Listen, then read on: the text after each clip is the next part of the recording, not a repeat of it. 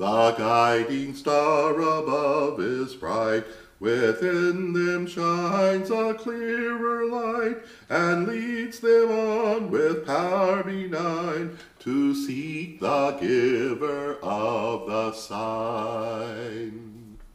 Good afternoon, welcome to the Daily Office. I'm so glad you could join me and thank you. This is evening prayer for Saturday, January the 11th. It's the Saturday after Epiphany. And the scripture for this service, Psalm 104 and Isaiah chapter 61, verse 1 through 9.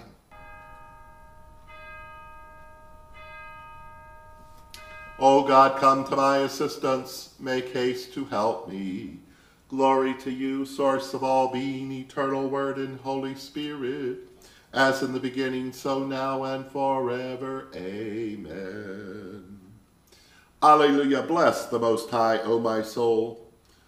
Psalm 104.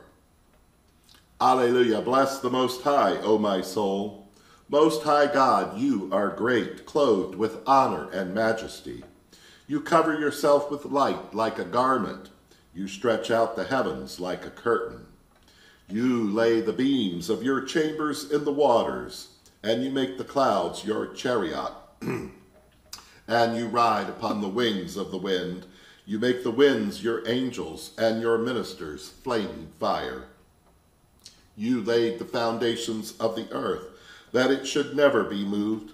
You covered it with the seas like a garment. The waters stood above the mountains. At your rebuke they flee. At the voice of your thunder they run away. They go up by the mountains. They go down by the valleys to the place which you have made for them. You have set a boundary which they may not pass, that they may never again cover the earth. You send the springs into the valleys which run among the hills. They give drink to every beast of the field. The wild asses quench their thirst. By them shall the birds of the air have their habitation, which sing among the branches. You water the hills from your chambers. the earth is satisfied with the fruit of your works. You make the grass to grow for the cattle, and the plants for the service of the children of the earth, that you may bring forth food from the earth, and wine that makes our hearts glad, and oil to make our faces shine, and bread which strengthens our hearts. Your trees are full of sap, the Lebanon, cedars of Lebanon, which you have planted, where the birds make their nests. As for the stork, the fir trees are her home. The high hills are a refuge for the wild goats, and the rocks for the rabbits. You appointed the moon for the seasons, and the sun knows its time for going down. You make darkness, and it is night, where all the beasts of the forest do creep. The young lions roar after their prey, and seek their meat from God. The sun rises, and they gather themselves together and lie down in their dens. People go forth to their work and labor until the evening. O God, how wondrous are your works! In wisdom you have made them all, and the earth is full of your riches. Yonder is the great wide sea, where there are innumerable living things, both small and great. There go the ships, there is that Leviathan whom you have made to play there. These all wait upon you, that you may give them their food in due season. That which you give them they gather. You open their hand, your hands, and they are filled with good. You hide your face, they are troubled. You take away their breath, and they die and return to dust. You send forth your spirit, and they are created and you renew the face of the earth. Your glory shall endure forever. You shall rejoice in all your works. You look on the earth, and it trembles. You touch the hills, and they smoke. I will sing to you as long as I live. I will sing praise to you, my God, while I have my being. My meditation of you shall be sweet. I will be glad in you. Let the sinners be consumed from the earth, and let the wicked be no more. Bless the Most High, O my soul. Praise God Most High. Glory to you, source of all being, eternal word and Holy Spirit, as in the beginning, so now and forever. Amen. Alleluia.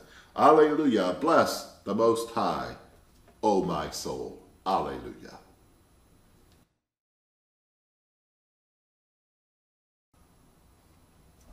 The lesson is from the prophet Isaiah, chapter 61, beginning at verse 1. The Spirit of Yahweh God is upon me, because the Most High has anointed me. He has sent me to bring good news to the oppressed, to bind up the brokenhearted, to proclaim liberty to the captives, to release the prisoners, to proclaim the year of Yahweh's favor and the day of vengeance of our God, and to comfort all who mourn.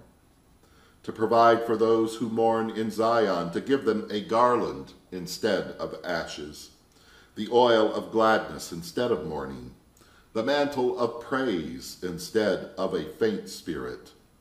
They will be called oaks of righteousness, the planting of Yahweh to display his glory. And they shall build up the ancient ruins, they shall rise up the former devastations, and they shall repair the ruined cities, the devastation of many generations. Strangers shall stand and feed your flocks, and foreigners shall till your lands and dress your vines. But you shall be called priests of Yahweh, and you shall be named ministers of our God. You shall enjoy the wealth of the nations, and in their riches you shall glory, because their shame was double, and dishonor was proclaimed as their lot. Therefore they shall possess a double portion, everlasting joy shall be theirs. For I am Yahweh, I love justice, I hate robbery and wrongdoing. I will faithfully give them their recompense, and I will make an everlasting covenant with them. Their descendants shall be known among the nations, and their offspring among the peoples. And all who see them shall acknowledge that they are a people whom Yahweh has blessed. Here ends the lesson.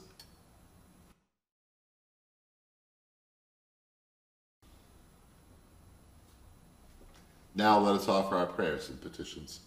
Show us your mercy, O God and grant us your salvation. Let your priests be clothed with righteousness, and let your saints shout for joy. In you shall we lie down in peace and sleep, for only you make us dwell in safety. Make us a righteous nation that keeps your truth, that we may glory in your judgment. Let your way be known upon the earth, and your saving health among all nations. Let not the needy be always forgotten, nor the hope of the poor perish forever. Create in us clean hearts, O God, and renew a right spirit within us, and for all of your intentions. Our beloved which art in heaven, holy is your name. Your kingdom come, your will be done on earth as it is in heaven. Give us this day our daily bread. Forgive us as we forgive others. Lead us not into temptation, but deliver us from evil. For the kingdom, the power, and the glory are yours, now and forever. Let us pray. We are created by your word, O Most High God, and your creation tells your glory in all the earth. Hide not your face, but renew us each day. In Jesus' name we pray. Amen.